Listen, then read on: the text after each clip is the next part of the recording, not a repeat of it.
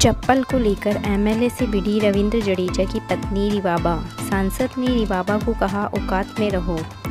रविंद्र जडेजा की पत्नी रिवाबा जाडेजा एक बार फिर चर्चा में हैं। इस बार वह खुलेआम सांसदों और मेयरों पर निशाना साधने को लेकर सुर्खियों में हैं। उनकी लड़ाई के कई वीडियो सोशल मीडिया पर वायरल हो रहे हैं। रिवाबा जामनगर से विधायक है। बताया जा रहा है कि मामला लाखोटा झील का है। निगम में शहीदों को श्रद्धांजलि देने के लिए कार्यक्रम आयोजित किया गया। इस कार्यक्रम में रिवाबा मेयर बीना कोठारी और सांसद पूनम माडम के साथ मारपीट हो गई है।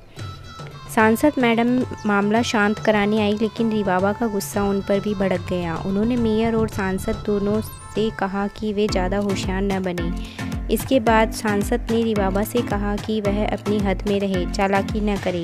जामनगर विधायक ने सांसद को यहाँ तक कह दिया कि बवाल की वजह वही है। रीवा को सांसद पर गुस्सा आ गया। रिवाबा मैडम से कहती है कि आपने मामला सुलझा लिया है और और अब आप आग बुझाने की कोशिश कर रही हैं। रिबाबा ने सांसद से कहा कि उन्होंने सार्वजनिक स्थान पर उनके लिए स्मार्ट ओवर स्मार्ट जैसे शब्दों का इस्तेमाल किया था। हंगामे के बाद रिबाबा ने मीडिया से बातचीत में पूरा मामला बताया। जूते को लेकर हुआ विवाद। भारतीय क्रिकेटर रविंद्र जडेजा की पत्नी रिवाबा ने कहा कि मैडम ने शहीदों को श्रद्धांजलि देते समय चप्पलें पहनी और अब उनकी बारी आई तो उन्हें उतार दिया।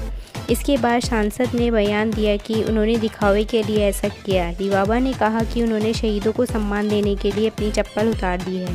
और वह सांसद के बयान से नाराज़ है। उन्होंने कहा कि जब बात आत्मसम्मान की हो तो वह ऐसी बातें नहीं सुन सकती।